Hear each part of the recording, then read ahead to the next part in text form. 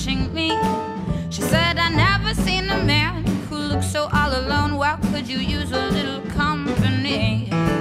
Well, if you pay the right price, your evening could be nicer. You can go and send me on my way.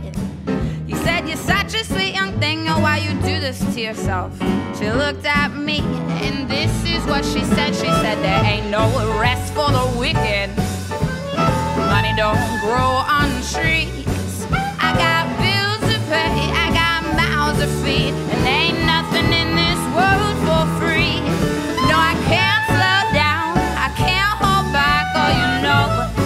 Wish I could, because there ain't no rest for the wicked until we close our eyes for good.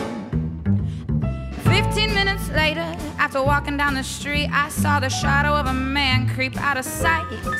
And then he swiped up from behind, he put a gun up to my head. He made it clear he wasn't looking for a fight. He said, Give me you got, I want your money, not your life. But if you try to make a move, I won't think twice. I told him, You can have my cash, but no, you know I gotta ask, What made you wanna live this kind of life? He said, There ain't no rest for the wicked. Money don't grow on trees.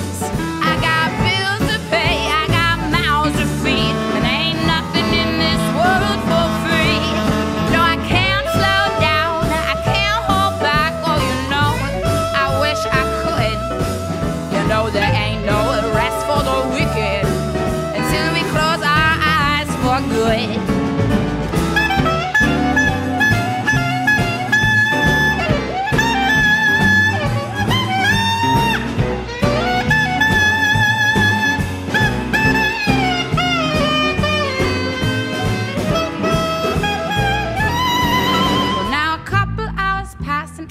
Sitting at my house. The day was winding down and coming to an end.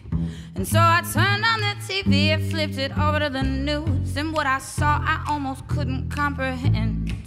I saw a preacher man in cuffs taking money from the church. He had a bank account with righteous dollar bills.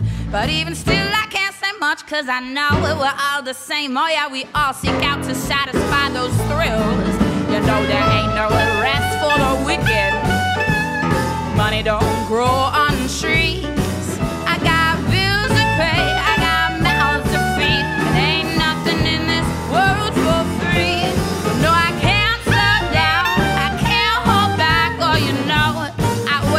Wish You know, there ain't no rest for the wicked until we close our eyes for.